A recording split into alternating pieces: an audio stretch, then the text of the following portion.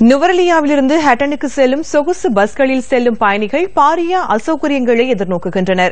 சொகுசு பஸ்கள் என்று பெயரளவில் குறிப்பிட்டாலும் அதன் சேவைகள் மக்களை முகம் சுளிக்க வைத்துள்ளன. நுவரேலியாவில் இருந்து ஹட்டன் மற்றும் ஹட்டனில் இருந்து நுவரேலியா நோக்கி சேவையில் ஈடுபடும் சொகுசு பஸ்கள் அதிக பயணிகளை ஏற்றிச் செல்வதை அவதானிக்க முடிகின்றது. குறிப்பிடத்தக்க ஆசனங்களை விட அதிகமான பயணிகளை ஏற்றுவதனால் பயணிகள் பெரும் சிரமங்களை எதிர்கொள்வதாக குறிப்பிடுகின்றனர்.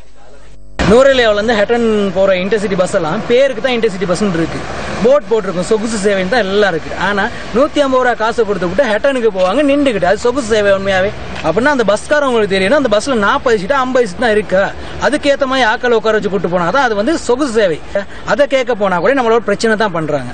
இதை வந்து போக்குவரத்து அமைச்சும் கவனத்தில் கொள்ள மாட்டேங்குது. போக்குவரத்து அதிகார சபையும் அதை கவனத்தில் கொள்ள மாட்டேங்கிறாங்க. ரிட்டன் போகிற பஸ்ஸுங்க இந்த இன்டர்சிட்டி பஸ்ஸுங்க சில நேரம் மனிதாயமான இல்லாமல் நடந்துக்கிறாங்க. என்ன கேட்டால் கர்ப்பிணி தாய்களை கூட உள்ளுக்கு திணிச்சு தான் கொண்டு போகிறாங்க நூறுலேருந்து எட்டனுக்கு வாங்குற காசு தான் தலைவாலைக்கு வாங்குறாங்க.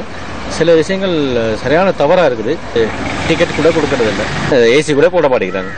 சும்மா அப்படியே ஆடு மாடு ஏற்றுற மாதிரி ஏற்றிட்டு போறாங்க. வந்து இப்போ அட்னு போற இண்டஸ்ட்ரியிலனா இடவெல்ல ஆக்கள் ஏத்திக்கிட்டு ஒரு மனிதாபம் இல்லாம தான் நடந்து கொள்றாங்க. பிள்ளைங்க ஏத்துறாங்க.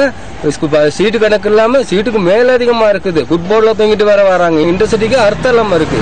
இதை போர்டை கழட்டி போட்டு அவங்க சும்மா போகலாம் அதுல.